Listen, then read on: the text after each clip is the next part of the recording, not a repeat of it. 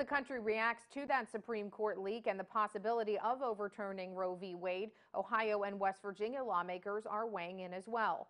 West Virginia Senator Shelley Moore Capito called that leak an unprecedented breach of security and believes the leaker will ultimately face punishment for it.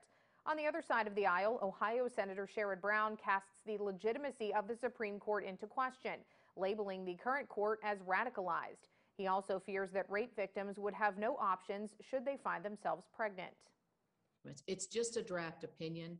So I think we need to, you know, wait and see what the real opinion is at the end of probably projected into June to see uh, where the Supreme Court has gone and um, if there's any changes to that a number of senators have come forward and saying we should codify this, meaning we should put this into the law, Roe, so the Supreme Court can't play games and misinterpret language. Put it in the law. We can, we will get more than 50 bipartisan votes. Uh, the question is, can we get 60?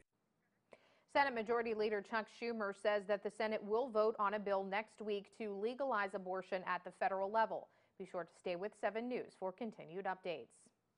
And meanwhile, West Virginia Senator Joe Manchin also commented on the new effort from Democrats to put Roe v. Wade's provisions into law. He told reporters that he has not seen any legislation, legislation being drafted in Congress, but that he is, quote, anxious to consider it. Manchin says he would also like to see the separate bill from Republican Senators Lisa Murkowski and Susan Collins. When asked whether it should be a priority for lawmakers, he said that Majority Leader Chuck Schumer would have the final say. 7 News